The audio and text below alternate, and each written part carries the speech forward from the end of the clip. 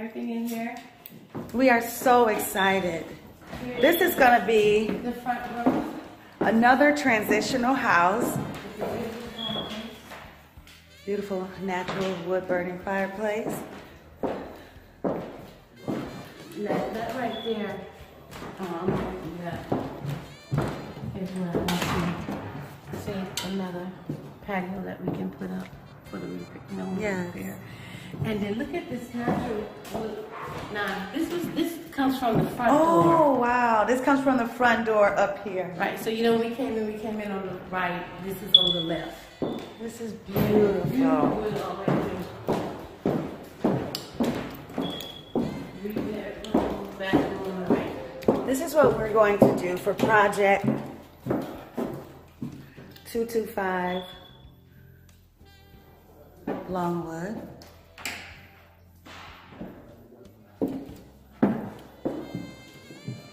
Expect this to be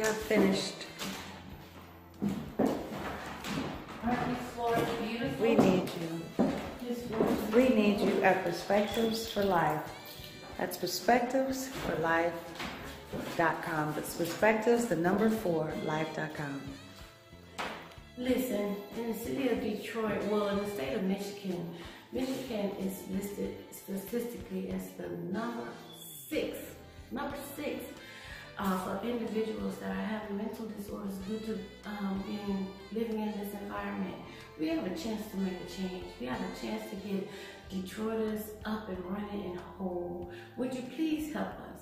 This is something that we're doing out of the, the desire of our heart to see everybody get what they need. Would you help us do this, please?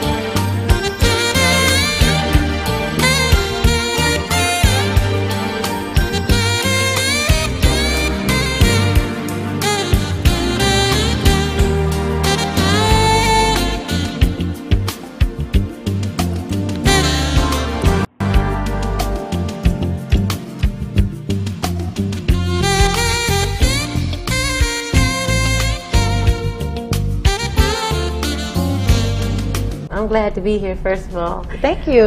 Um, but in November of 2012, I was working, I was active, I was doing everything I was told you need to do to have the best in life. You know how they say, pull yourself up by the bootstraps, make sure you get all the things you're supposed to have. And I had all that.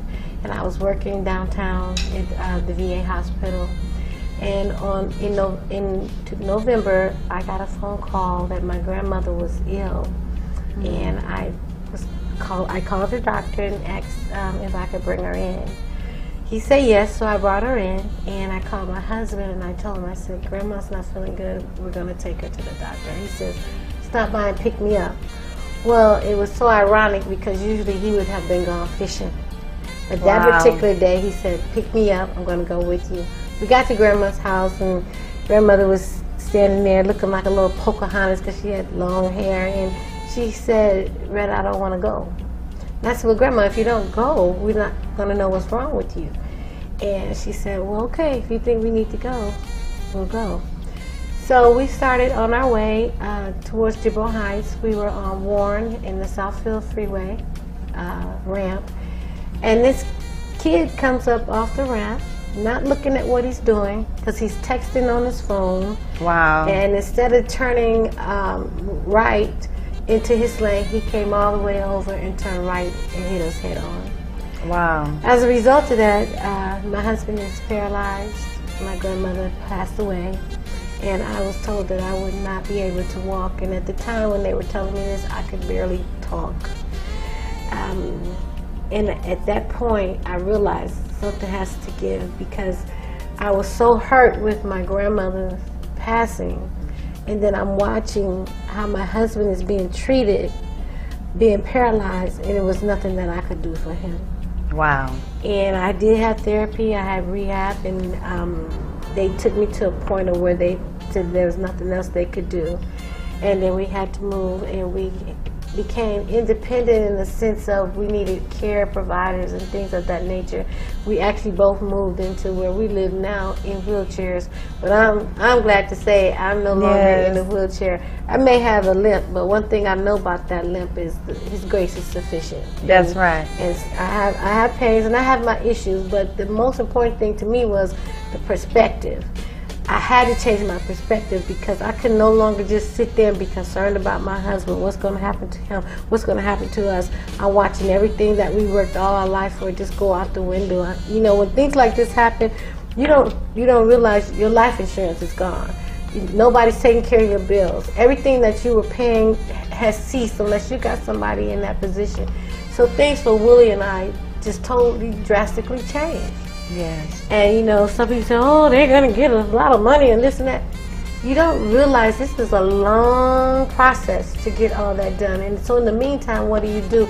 And if you're not careful, you'll lose your mind. And I know what I'm talking about because right. my husband is my life, and he's uh, first and foremost in everything that that I do. And when I saw the mistreatment and the mishandling of him, I said, "I got to get it together, or we both gonna end up That's dead." right. And that's just the bottom line. Wow.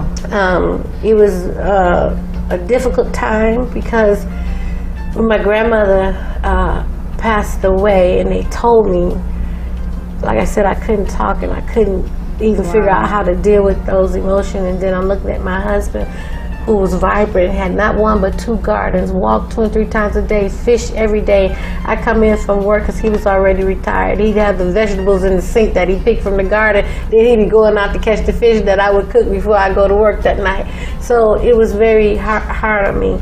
And as I looked at that, I said, you know, people are losing their minds. The, the pressures of life can be so hard. That's right. I look at individuals like, for example, the gentleman that when the Sam Club closed their doors and they said out of business, closed, and people were going to their jobs. They thought they had some security. They they might just been living from paycheck to paycheck. right? But they thought they were They going to they work, were going and to they work. get there, especially in my opinion, for a man to go to the door and say closed for business. Like, what, like, what are you talking about? Right. When you think of grandmother, her legacy, I'm telling you. Mm-hmm. It, it It's deep. hurts, but I, I also have to know my perspective is all things are working together for my good. Now, That's while I right. while I was going through it, No, absolutely, I didn't see it that way. That's right. But had I not gone through that, you and I would not be talking about what we're talking about now. That's right. And I realized I didn't do it all by myself. I had individuals that were helping me, and you need to know where to go and how to go and what to do and what to say and when to say.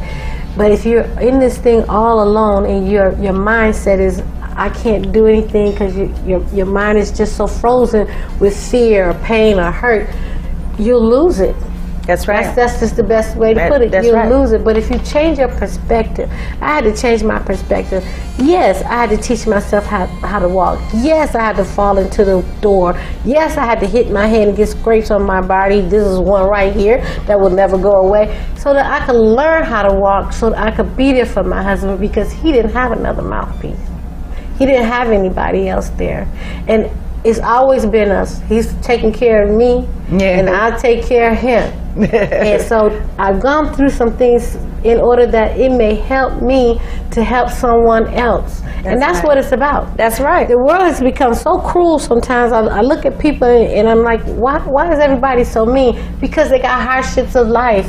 That's right. You and their perspective is adverse most times. Right. Yeah. And that's what needs to change. And that's what Perspectives for Life is all about. what, what did you say? Change your mind, change, your, life. That's it. Change your change mind. your mind, change your life.